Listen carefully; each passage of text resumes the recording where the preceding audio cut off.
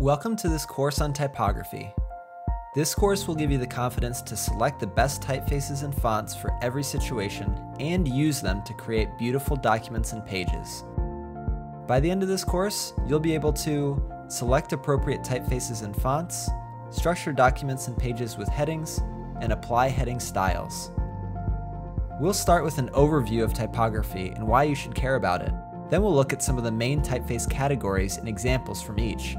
After that, we'll cover the rules of using fonts and typefaces appropriately.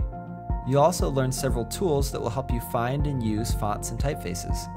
Finally, you'll have a chance to apply what you've learned and create a document with beautiful and functional typography.